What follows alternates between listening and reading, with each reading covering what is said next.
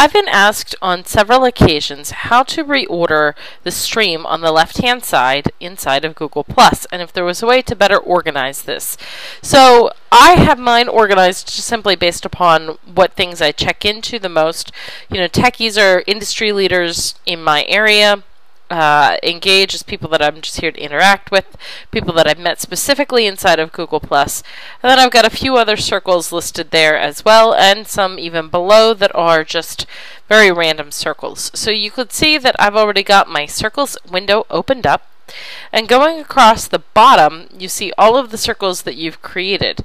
The way to now most easily sort this information for your public viewing is just simply to click and drag the circles around. So if I were to click and drag, let's say, my family and put them, you know, here, Let's see. There we go.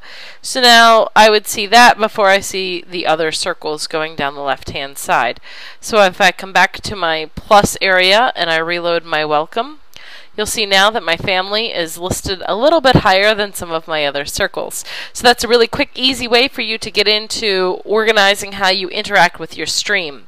I seldom, just as a heads up, ever go to the stream area and expect to see everybody. It's very rare that I do that and things go flying by quickly.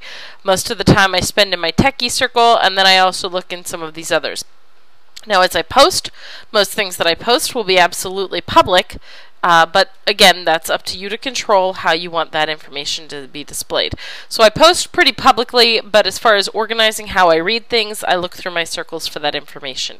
So that's a quick way to organize your circles and shuffle them around in a way that works for you.